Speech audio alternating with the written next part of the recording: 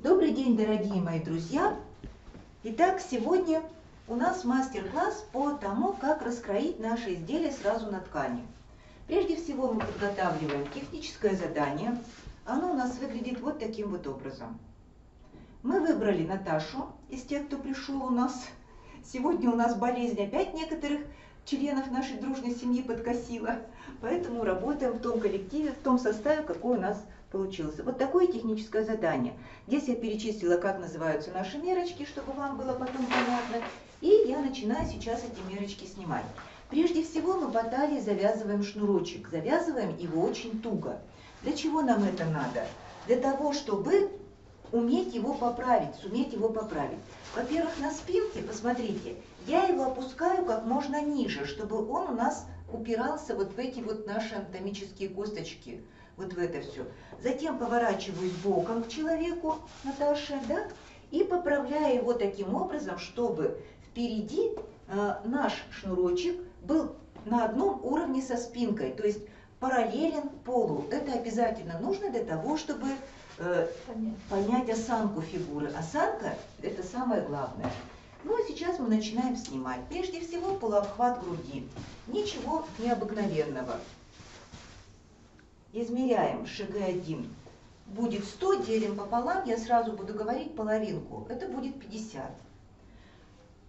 Так, полу, не ШГ, СБ, СГ1, это С, полуобхват талии. 41 с половинкой. Вам записать? Нет, не надо, я сама. И полуобхват бедер.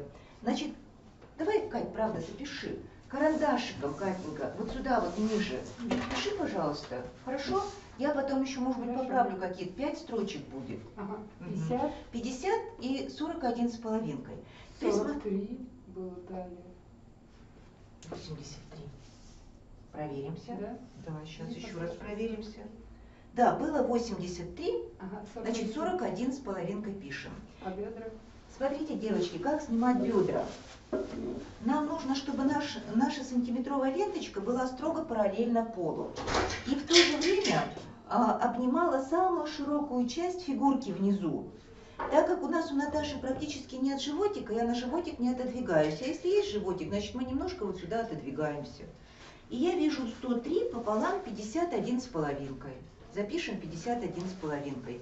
Теперь поворачиваемся к камере лицом и опускаем плечики. Нам нужно обязательно опустить плечи, расслабиться, опустить плечи. Да?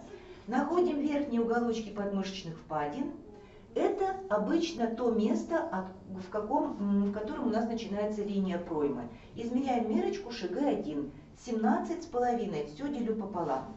Затем чуть-чуть повернулись, опускаю перпендикуляр из верхнего уголочка подмышечной впадины вниз и на этом же уровне измеряю ШГ2.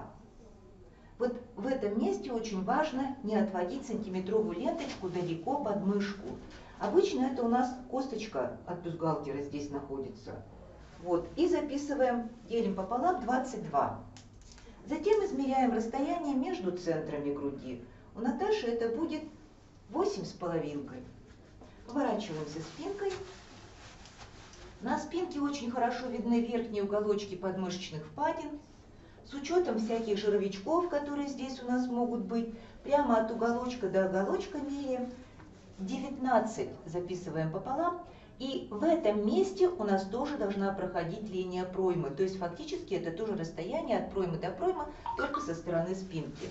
Затем поворачиваемся лицом. В этой же строке мы записываем мерочку длина изделия. Длина изделия измеряется у меня от талии вниз. И записывайте ту длину, которая вам нужна. Мы сегодня будем строить жакетик, потому что он ничем от платья не отличается, кроме длины.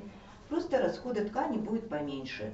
И я напишу, скажем, ну давайте 22 сантиметра возьмем жакетик длиной. Поэтому длина изделия 22 сантиметра. Дальше, с правой стороны все мерочки у нас снимаются. Измеряем ширину плеча, следующая строчка.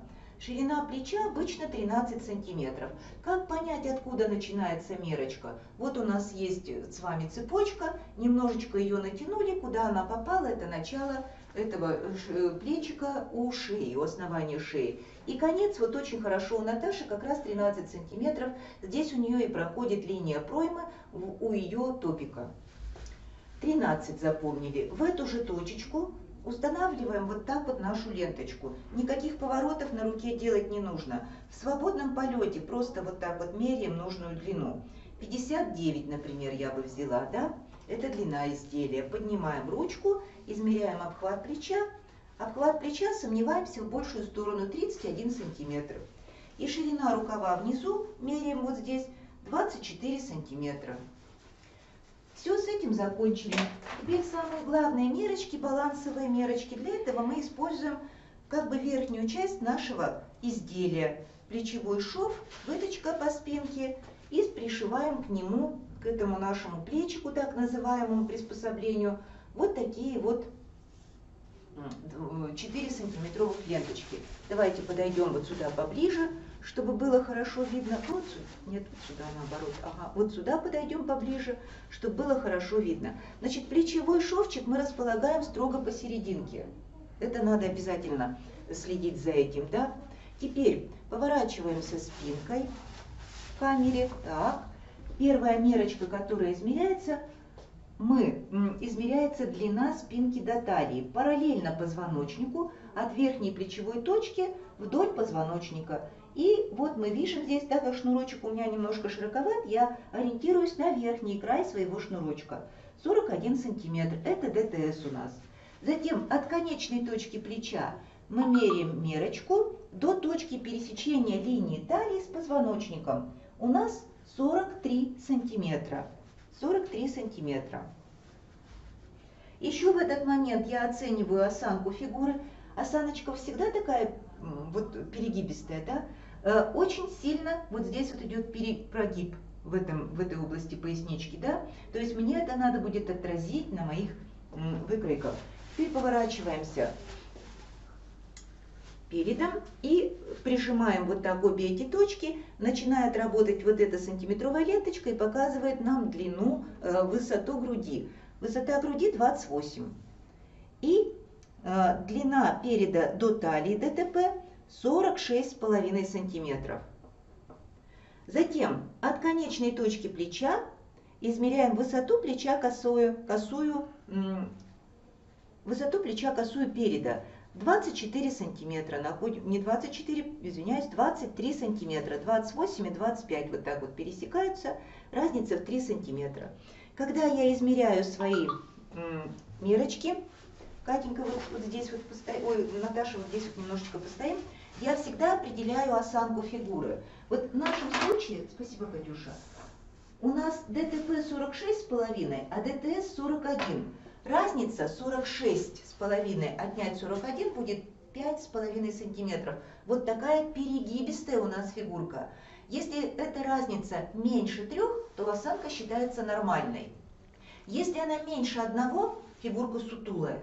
У вас фигурка перегибистая мы тоже будем это учитывать. Когда вы снимаете мерочки, неважно, какая у вас тут грудь, талия, бедра, вы здесь можете по поиграть потом прибавками, но очень важно именно определить правильно осанку. Для этого шнурочек параллельно, да, и очень правильно выставить вот это вот плечико, чтобы оно стояло у вас именно посерединке плеча, не заваливалось ни назад, ни вперед и никуда не перекашено было. Все. Следующий номер нашей программы будет непосредственно раскрой.